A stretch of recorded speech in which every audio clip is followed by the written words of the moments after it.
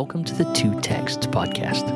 I'm here with my co host John Andrews, and my name is David Harvey. This is a podcast of two friends from two different countries meeting every two weeks to talk about the Bible. Each week, we pick one text to talk about, which invariably leads us to talking about two texts and often many more. This season, we're taking a long, slow journey through the book of Acts to explore how the first Christians encountered the disruptive presence of the Holy Spirit. So, John, the last time we were together, we had Paul approaching a sermon in Athens. So there was, a, Hmm. there was a little bit of a, uh question being asked around around what it is that Paul's saying amongst a group of people who who love to hear new things and new teaching. Uh, and so we, we've sort of built the whole story up in the last couple of episodes, right up to Paul Mm. beginning to preach. And so Mm. in this episode, we're going to jump into Paul's sermon itself, aren't we? Yeah, yeah. And I, I tell you what, one of the things that I just saw in a fresh way reading it through again, verse 19, it says, Then they took him and brought him to a meeting of the Areopagus. And Mm. it, it really it really reinforced the sense again that this is this wasn't just a discussion, it was almost a trial, really, wasn't it? Mm. these people were, were bringing him to a place of trial to discuss this. I think uh, if we're not careful, we we almost reduce.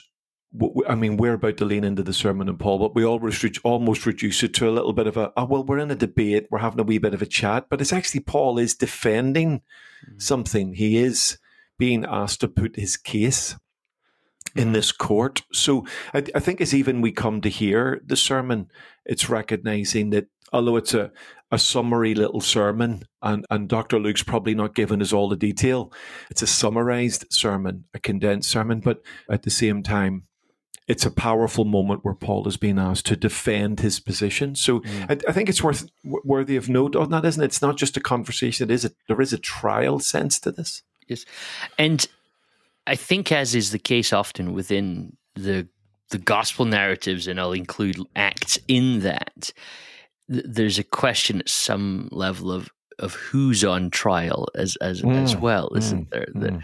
th- this is the gospel in in very new space for us, and I think Yeah. that's worth remembering. Sometimes we get overawed, I think, by Acts chapter 17 because Athens represents so much for Westerners, particularly. It's like the, Yeah. the heart of our notions of democracy, it's the, the heart of our, our notions of philosophy. And I think what happens, uh, and it's worth, I think, bearing this in mind as we hear Paul's sermon, is is we get a little overawed by Paul in Athens because hmm. because I think our hold in our minds on the centrality of the Greek way Mm. is is so it, prominent for us. Is how we, we hmm. build our cities essentially after how the Greeks imagined them. We we build our economics, we build our philosophy, uh, all these sort of things, and it's easy to miss that Paul's there as a critic. Right? He's Mm, he's not there to actually approve of the, the Greek way. mm. Um, this is not the gospel making the shift from Jewish to Gentile now in terms of what it is. It's the same message. Now, Paul Yeah. comes at the message we'll see differently.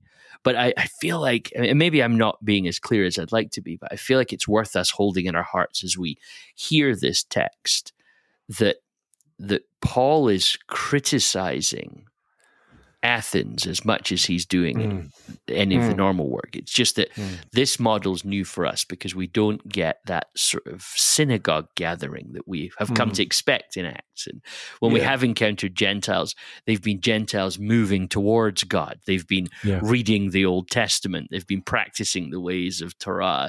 That's been quite common for us. What's unusual with this is that backdrop. Think about the Ethiopian eunuch, Cornelius, they all have a sort of baseline knowledge, don't they? That the Yeah. gospel comes along and says, here's how we're understanding this story. Yeah.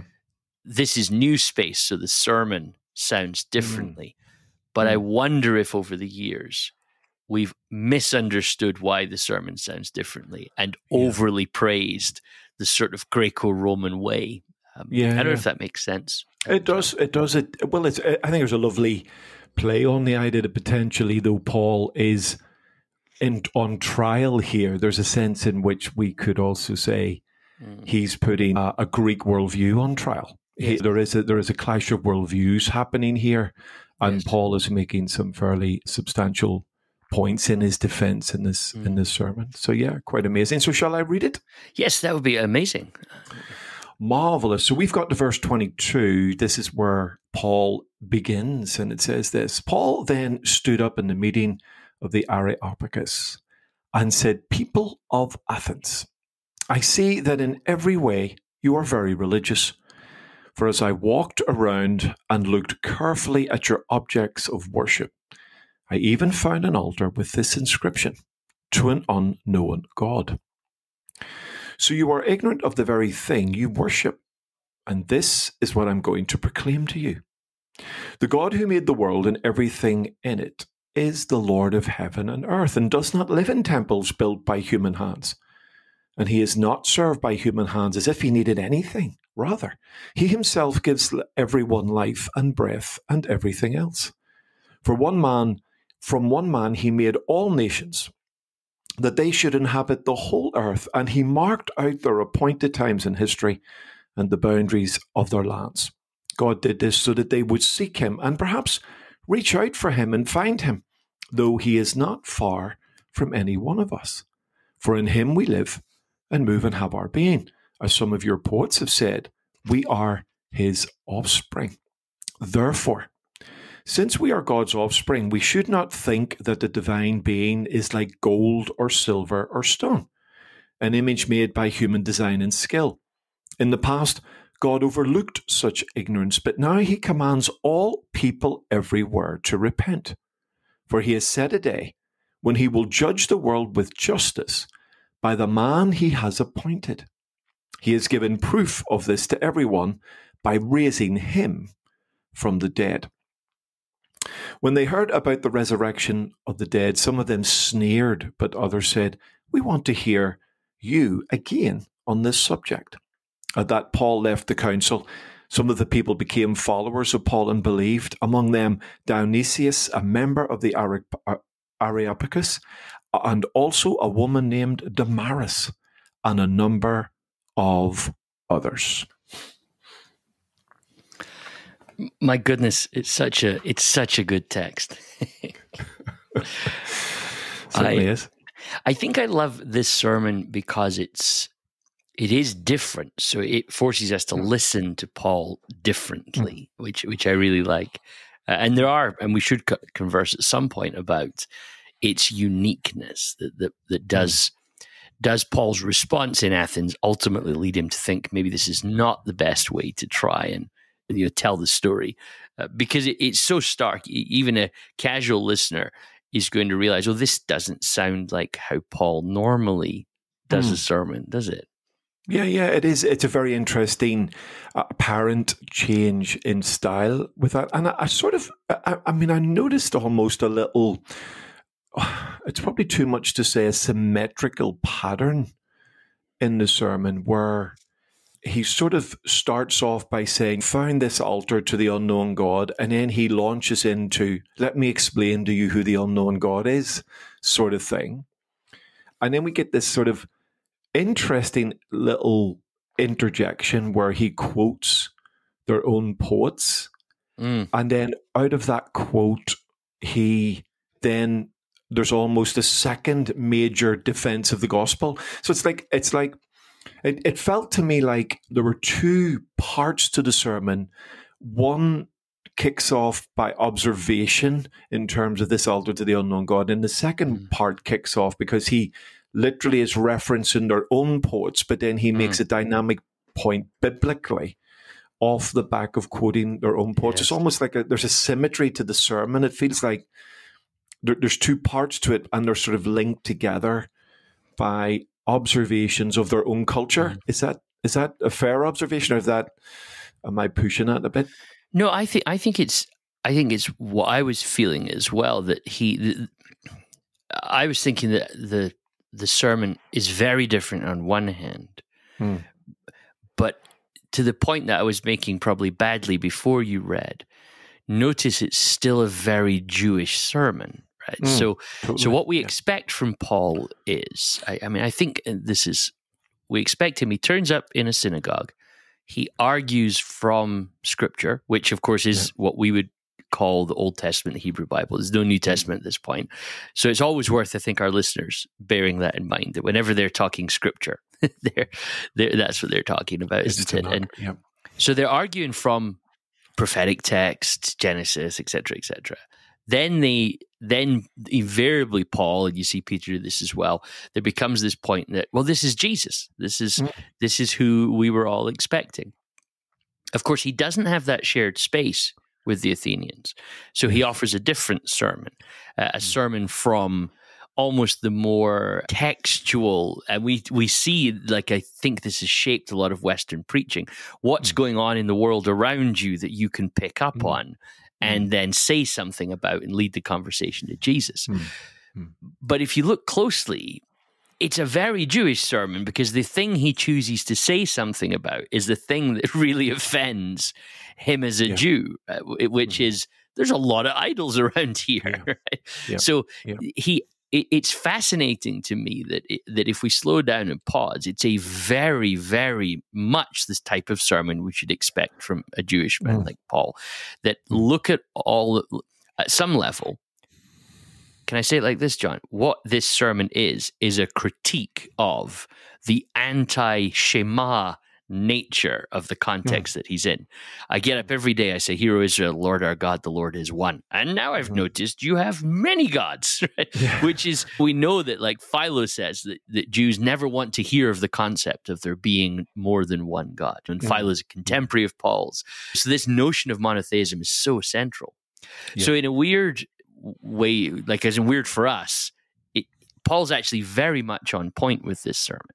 Yeah. And then even when he makes the point in him we live and move and have our being, he, as you say, he immediately brings it up with an allusion to, like I, I think it's allusion to Genesis and uh, Genesis one and Psalm eight, isn't it? That mm. you know that's going on there. I mean, is that is that helping what you're saying? That's that's how I'm sort of seeing this. Yeah, yeah, completely. I, I, mean, I, I love the fact that in his introduction, Paul has shown both an, an, a keen observation, not just in a general sense, oh, you've got lots of gods here, but he makes an observation about the particular sense that, oh, I've, I've even seen an inscription to the unknown God or an unknown yeah. God.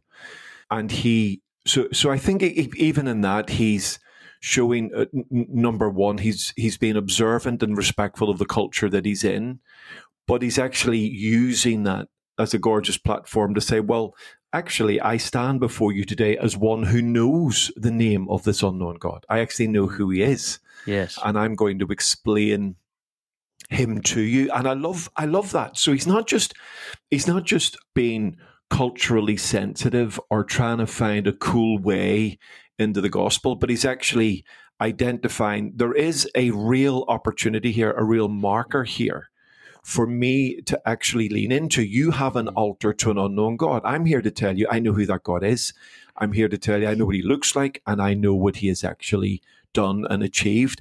And and and I love what could be interpreted as a sort of a a quite soft, like culturally connected introduction is actually quite an aggressive mm-hmm. introduction when you read it properly. I mean, if if you look at it, look at that verse 23. He said, I even found an altar with this inscription to an unknown God. So you are ignorant of the very thing you worship.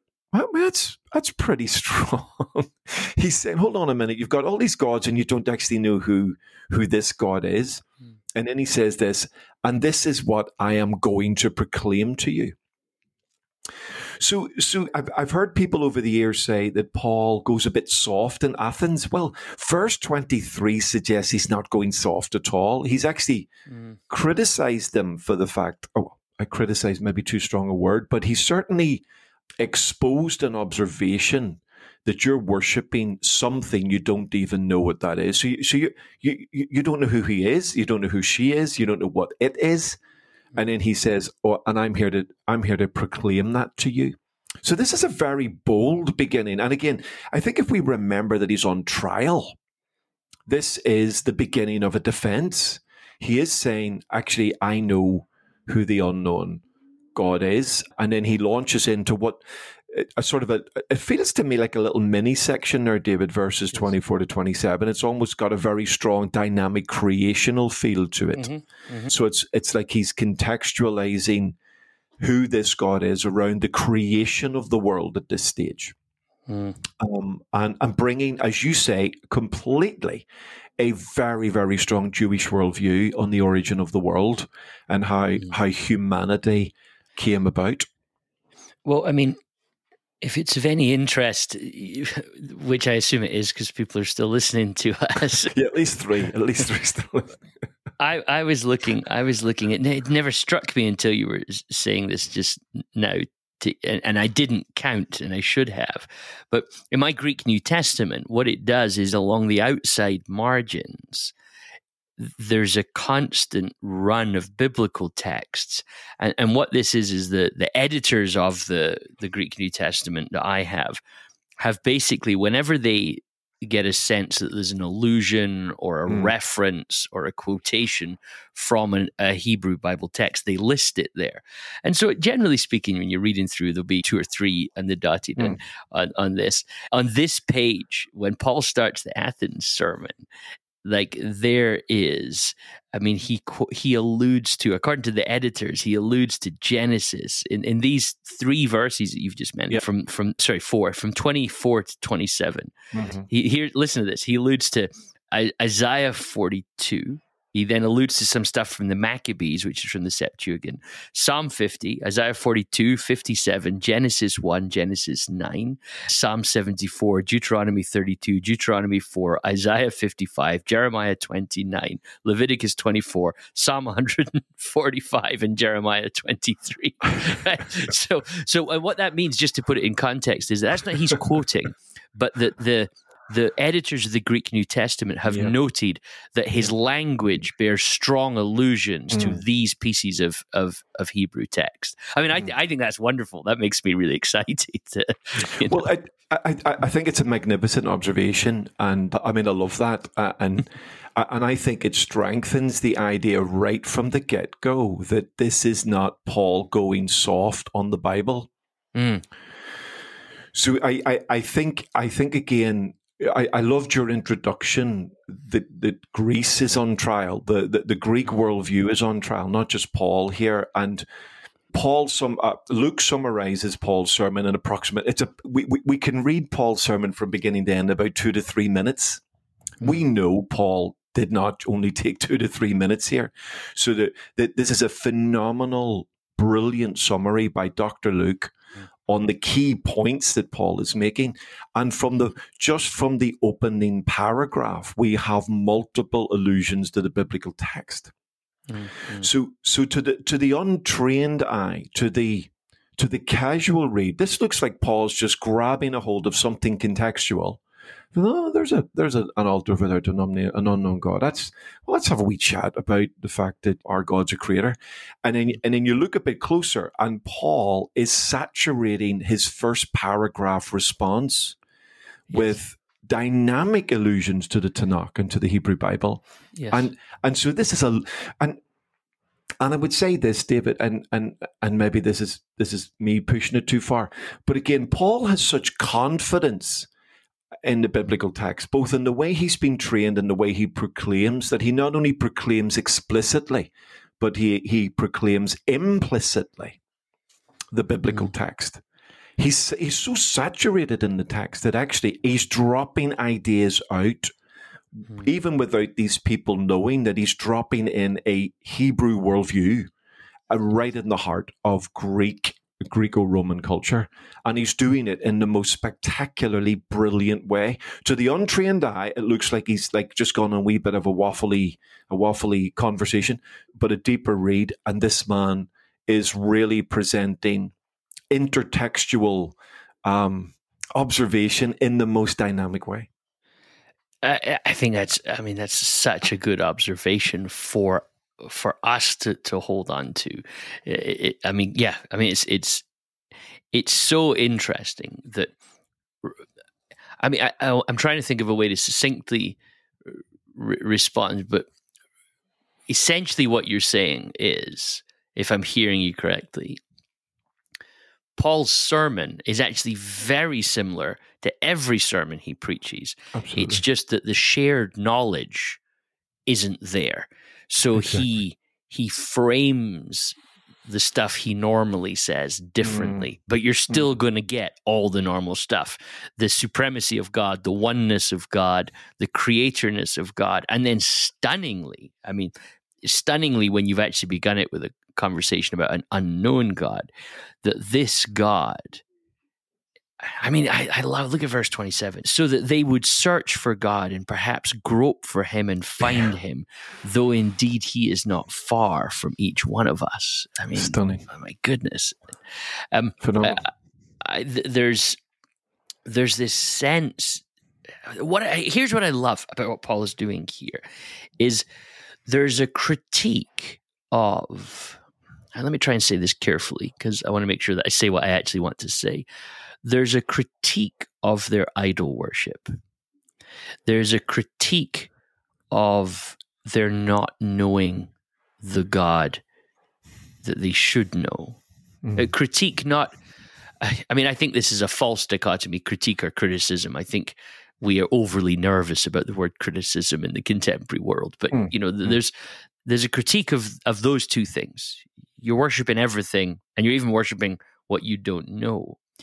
What there isn't a critique of is that they're trying to find God Yes, indeed. and, uh, and and I think a lot of a lot of Western modern preaching misses that right Mm. that that that it's so easy to walk into a context and say you're wrong right Mm. um, but what Paul doesn't actually say to them is you're wrong he actually he actually approves at some level of their desire to try and find God the Mm. problem is he's nearer to you than you realize you think he's Mm. far off and Mm.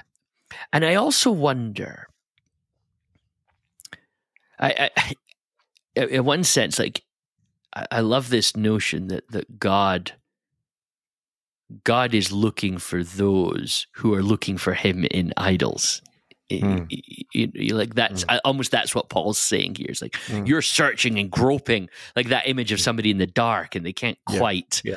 they can't quite. I mean, that's I mean that's what I think when somebody says groping and and searching. I'm, I'm imagining you know trying to make it to the bathroom in the middle of the night without turning the lights on, right? And Yeah. yet God's actually super near to you the whole time. But the desire that's in you to find God, the people that are desiring God, God is desiring to find. I, I think maybe I'd say it like that. Does that Mm. does that resonate with what you think's happening here? It, it does. I because I, I, think there's a powerful um, that verse twenty seven is a powerful conclusion, Uh, and this idea you've got what feels like a very clumsy word or phraseology Mm. of the idea of of groping or searching, stumbling around trying to find something, and he's Mm. making that point in the very heart of this intellectual worldview, a worldview that would have very, very great confidence in what it thinks it knows and what it thinks it understands. And and Paul is almost saying the the multiplication of the idolatry in this place is is a sign that you are you're actually lost. You're groping for. It's not that you Mm. found anything. You're still searching and groping. Um, but I love that sense of grace that we've seen all the way through the book of Acts. And he's saying, he's saying, even in your groping and your blindness, God can be found because this God, this, and I love his language in verse 24, this God who made uh, heaven and earth, uh, this God who is the Lord of all.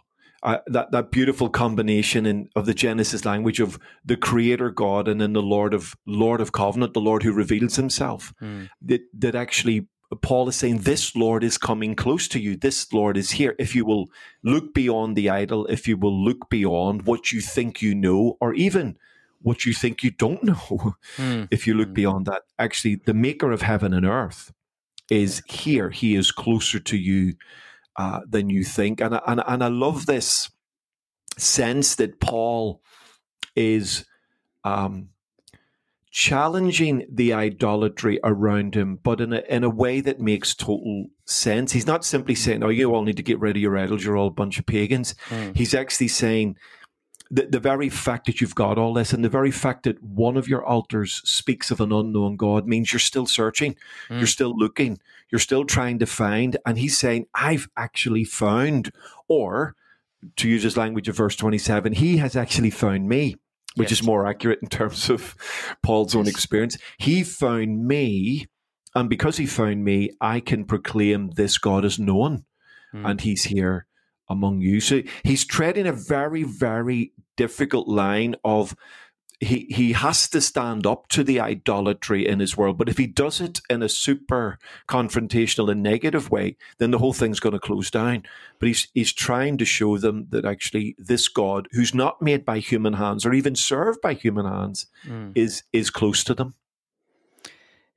It's that moment that you always run the gauntlet of in two texts, John, and this is the moment this in this episode. Essentially, what you've just said there is what Paul does in Galatians chapter 4, right? so, so, so let, let me read Galatians chapter 4, verse 8. He says this Formerly, when you did not know God, you were enslaved to beings that by nature are not gods. Now, however, that you have come to know God, and then he interrupts himself, or rather, to be known by God. How can you mm. turn back again to weak and beggarly elemental spirits? How can you want to be enslaved to them again? Right. So, I mean, what you've just said there, you, you think it seems like that's what Paul's doing here. I mean, in Galatians, he explicitly frames that that is one way that we know Paul actually thinks, isn't it? Mm. That that he, here I know what you're doing now, I know what you were doing, but I love the fact that he he basically says exactly you know what you've just said. Now that you've come to know God, or actually be known by yeah, God. Beautiful, it's beautiful. And, and that's I mean there's a lovely uh, there's a lovely allusion to that in this with I, I, I saw it, and just again, one of the reasons I love listening to somebody read scripture. He himself gives to all mortals life and breath and all things. So, yes. like, hold that in your mind, and then uh, think about Indeed, he is not far from each one of us. Mm. It's like you're not sure who he is, Paul seems to be saying. So you've put an idol up to an unknown God, not realizing that your life, your breath, all things are actually him and Frito mm. are actually from him in your life. It's quite, it's that, it's, it's, it's that, it's that gorgeous. I mean, the early church fathers are really good at this. That, that Christ in all things. Christ is not all things. There's, there's panentheism and, and, and pantheism mm. sort of challenge there. But but yeah. but God is in all these things. So of course he's near to you. Of course he's not far from us. And so I was really I struck when you were saying that. I thought it's it's a gorgeous, it really is worth us taking note of that Paul approves of the heart that is looking for God. And yeah. and and his I was you've said this to me in context before when you've done work with me in churches that I've served in. I remember us talking like this when we worked together at the college. You know, there's this you critique specifically and praise specifically. And maybe you, you've probably said it better than that, but this notion that we have this tendency to speak in random generalizations yeah. so so yeah. often. That was a great sermon, John, but we never really say what was great about it. We just say mm. it was mm. great. That was a terrible sermon, John, mm. and, and, actually, it might just be that one sentence upset us, and the whole the rest yeah. of the thing was fine. I love what Paul does here is he's very specific. There is a there is a specific problem with what I'm seeing, but that yes. doesn't mean that you are entirely wrong. And and I don't yeah. mean that in a pluralist sense. I mean more. He wants to preserve that heart that you are looking for God. Yeah. Um, and I think he does that really well by the fact that he then he then throws out a quote and we should talk about this probably in future episodes. But he then throws out a quote to their own pro- poets mm. to almost mm. make that point that even your poets are not always wrong. it's just yeah. they don't know. Does that make yeah. sense? Absolutely. And and and of course, just because he's quoting their poets and and agreeing with them on one thing is not does not mean he agrees with them on everything. But he simply and again I, I think it's a it's a stroke of uh, uh, that that's that little interlude in the sermon i think it's a stroke of genius in that it's a way of of reminding the audience that paul again is not just this jewish person trying to bang away at a jewish worldview and and hammer the greeks but actually paul is an intelligent man who has mm. read widely and studied widely and understood even what their poets have said mm. about certain issues that are tender to him. And, mm. and Paul has made this passionate case about the God who made the world and everything in it, who is also this Lord, this known Lord, who is searching for them, even though they're groping in the dark, trying to find him. And, and then he, he sort of uh, almost builds a conclusion with the quote from their poets, but also this becomes then a dynamic bridge into the into the final section of the sermon. And, and I love the fact that he's able to use the language of their poets, not con- affirming their worldview, but affirming a worldview that, that actually agrees with his worldview. Mm. And I think this is a careful, uh, this is a really, really important thing. I don't think Paul is is adapting the gospel to their worldview. I think Paul is saying your own poets actually agree with my worldview on this mm-hmm, issue. Mm-hmm, yes. So I think that's really important. We make the, the differentiation. This is not some sort of chameleon gospel. This yeah. isn't Paul going, this isn't syncretism. This isn't Paul going, oh, well, let's sort of slice and dice the gospel so it fits in every context. This is Paul preaching the gospel, but he's saying, actually, isn't it interesting that, that some of your guys have said something very, very similar to the worldview that I'm espousing to you. Mm-hmm. I think that's that's that's really important. The yes, I think that's and that's what I, I, I was alluding to when I said earlier as well. Like I don't think this is pluralism that's going on here. No. This is no. this is Paul making the point that they too can be can be right about some things, you know. But yeah. but but sometimes, and I think that's what his whole sermon is saying. Actually, at, at that mm-hmm. level, his whole sermon is saying you're right to be looking for God, mm-hmm. but you're but you're looking in in the wrong way. Yes, uh, I, have been thinking about. I, I've well, uh, let me say like this. I, have been reading the work of uh, Maggie Ross recently, and uh, her work on her, her stuff on prayer and silence is, is quite profound. But she talks about intercessory prayer. And, and one of her critiques, which has really kind of kind of got me in that sense, she says, is so often our view, she says, of prayer is is actually, I mean, she doesn't say exactly like this, but is actually a, a little similar to idolatry, right? Because mm. what we do with idolatry is we, we, we carve an image of the God so that we can say, this is what the God looks like. And the idea is that that I now can control this God. This God now lives in my house and will now be favorably disposed towards me, or this God lives in my city and will be favorably be disposed towards us, which allows in my attempt to control the God, it actually then allows me a level of control of my own life, right? Because if I think the God's now controlling things and he, and that God's now on my side, then my life is more in control. And you see this throughout Scripture. This is Moses saying to God, like, "Give me your name, because mm. because I can control a God that has a name and and that, which is why Yahweh's response is so amazing which is basically I am what I am right yeah. so so it's worth noting that idolatry is is always a notion of trying to control a god so that my own yes. life can be in the control that I want yes. now Maggie Ross's critique is actually that's so often what we do in prayer right mm. is that we we bring to God our solution to the problem and then say to God, right, you should do this solution. And we offer God one solution and then we walk away, right? Yeah. And, uh, and she says that what we should do in prayer is come to God with that which is burdening us, amongst yes. other things. Yes. Give it to God and then leave it with Him. mm. And uh, not offering God, this is the solution that I want, but offering. God, I trust you and, and, and you will carry these things. And having, I was reading uh, Maggie Ross's work just from not in preparation for two texts, but as we've been talking about this today, I've been thinking that's that's exactly what's going on here. Paul's mm. offering them a God who's in complete control of everything, Mm. But the journey to that God is to accept that in him we live and move and have our being right that actually yes. it's way beyond our ability to control this so so there's this gorgeous sense that that really one of the reasons we need to let go of idols be they stone pillars in in greek gardens or be they um our view of how prayer works as a way of controlling God. They're all idols which resist the sense that this God made the heavens and the earth and hmm. sustains mm. even the breath in our lungs.